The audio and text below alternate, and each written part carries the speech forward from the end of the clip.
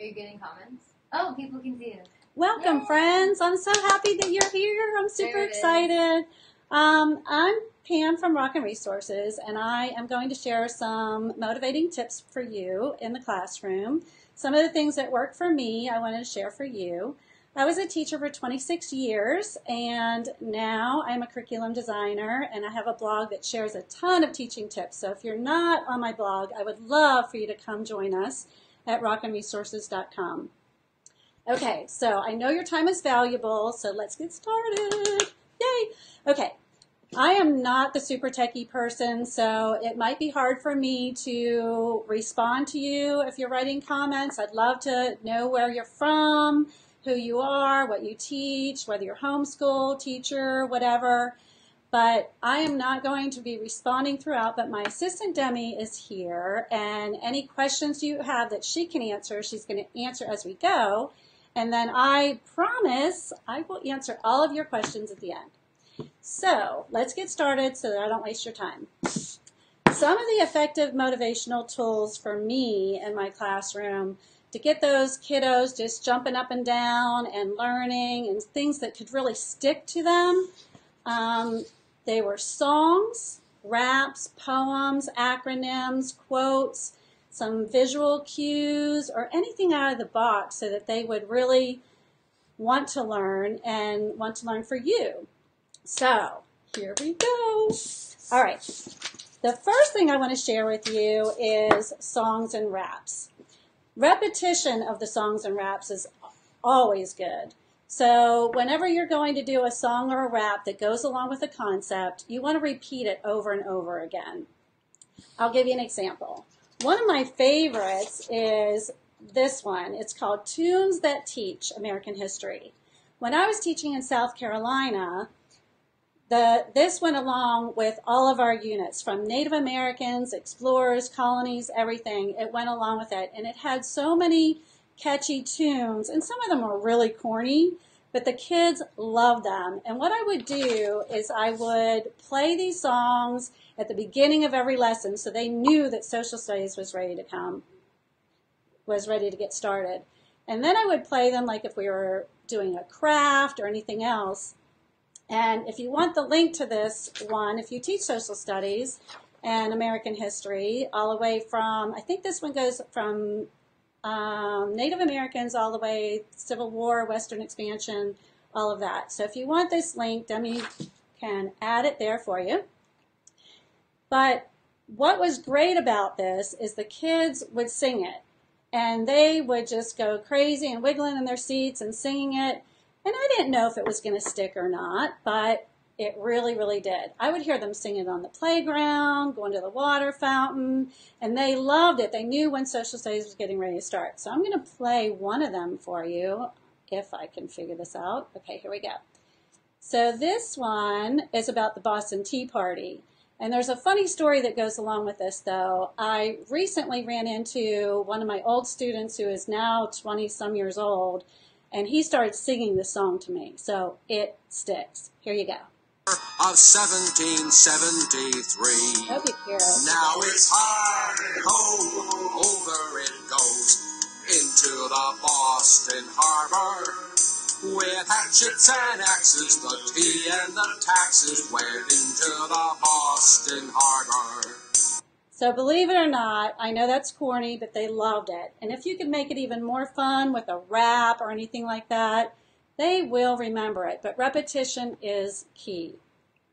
I didn't sing along, obviously. I have no tune to my voice. I love my rock and roll, but I am not going to sing for you. My friends know that. And if any of you are on here, you can vouch for that. Okay. That also, a lot of these ideas are on my blog post that I recently wrote. So if you go to Rockin Resources, it's the very first blog post. And Demi can actually put in the very first blog post there for you so that you can get a list. There's like over 40 some ideas for new teachers, veteran teachers, any teacher, homeschool teacher, even for parents. I try to just rack my brain with all the things that worked in my classroom and put it together in a blog post for you. So should I put that on now or just? Yeah, go ahead and put that on. okay. So the next thing I want to talk to you about is video. And I do video, I would do video a lot differently because I didn't think that video was good for actually teaching. They needed the teacher in front of the classroom teaching the concept. But video was awesome for reinforcement. I loved to do any kind of video that came along with uh, something that we were studying. And one of my favorites is back from when I was a kid, Conjunction Junction. Any of the schoolhouse rocks, I mean, they rock. So you have Conjunction Junction, what's your function? I mean, I remember that now, so the kids will remember it. So video is key. And yes, I just sang to you. Oh well, you'll live. Okay, the next idea I have for you is acronyms. And I know that teachers are filled with acronyms, but the re- but the reason why who? Todd. Hey Todd. But the reason why um, acronyms work, the reason why teachers use acronyms is because they totally work. Okay, here we go. So, like some of my favorites is like how to provide text evidence using race.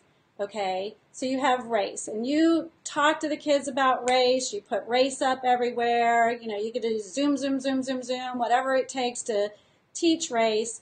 But RACE stands for Restate, Answer, Cite, and Explain. And this goes along with citing text evidence. So in any reading that you're doing, I mean, text evidence is huge nowadays, especially for testing. So the acronym works. I mean, the kids will remember whenever they go to test that they have to do those four things.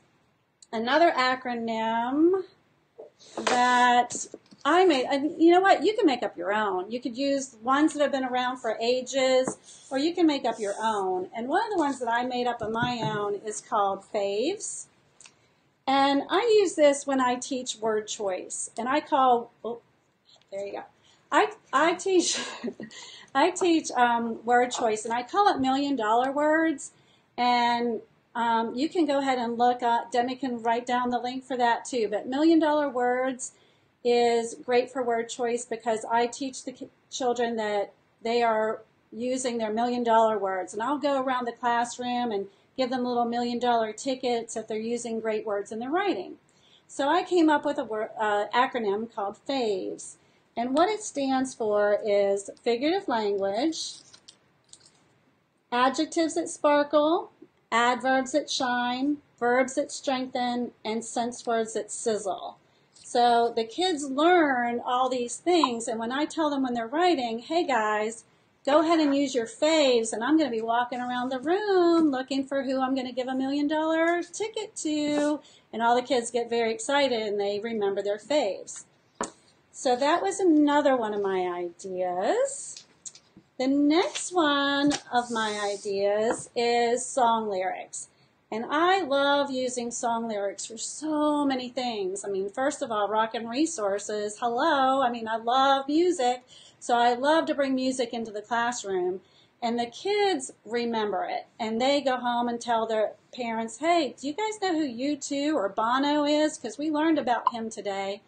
And of course, you know, the parents are like, wow, you know, she's teaching them stuff about, you know, artists that we like. But anyway, the great thing about it is this. You can use song lyrics for so many reading and writing strategies. I mean, it's it, it's endless. One of my favorites is theme.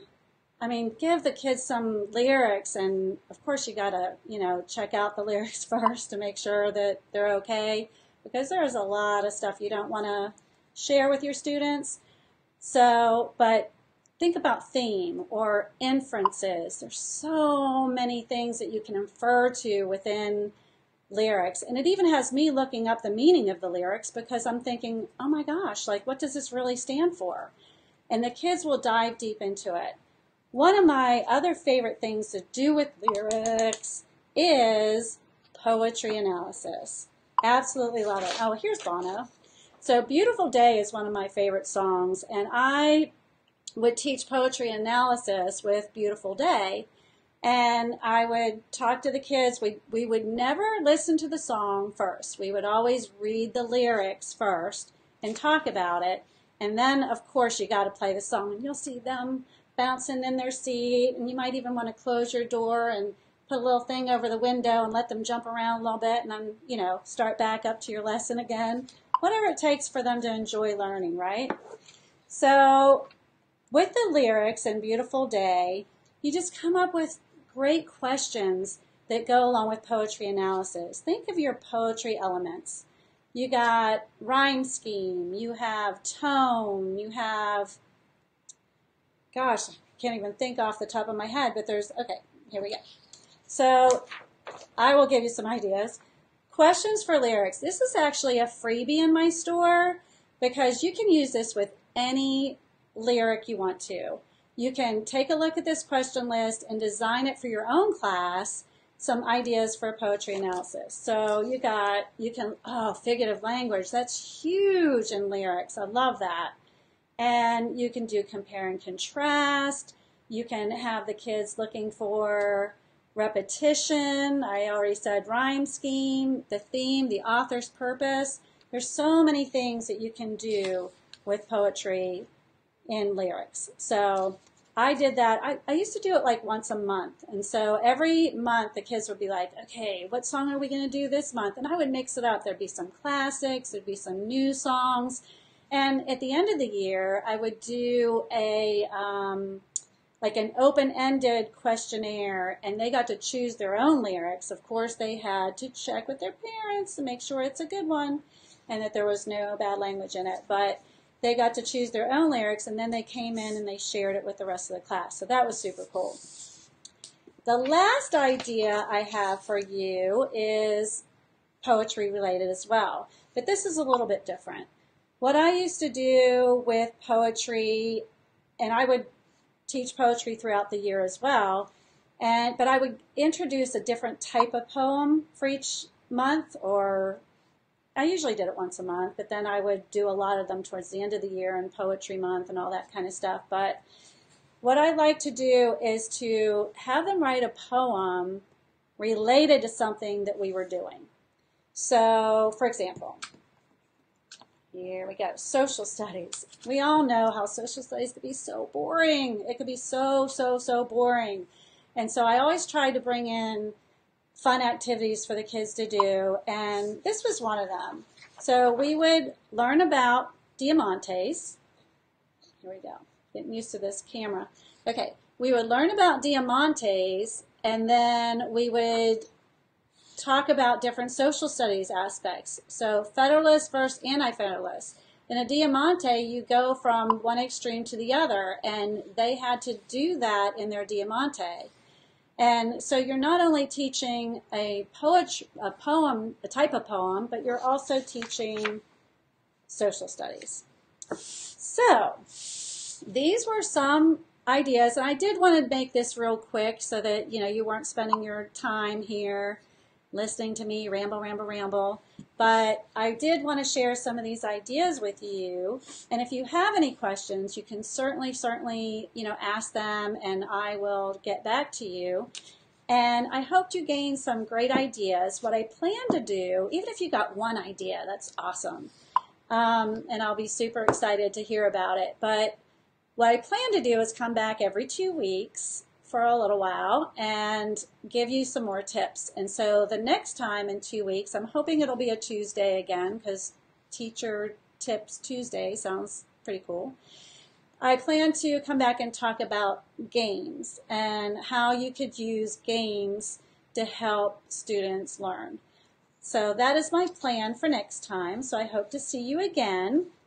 And I hope that you join me at rockinresources.com and subscribe to our newsletter because not only do you get a freebie right off the start as soon as you subscribe, but you will get freebies and teacher tips and you'll be the first to hear about some blog posts and all of that. So I hope that you come back and join me. And it was good seeing some of my friends. I'm now I'm see, now that I'm relaxed, I'm seeing some of my friends, and I'm super Go excited. Through, through some of them while you're on. Oh, yeah.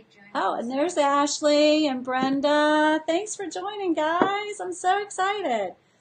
So, I want you guys to go out there and rock your teaching. Bye, guys.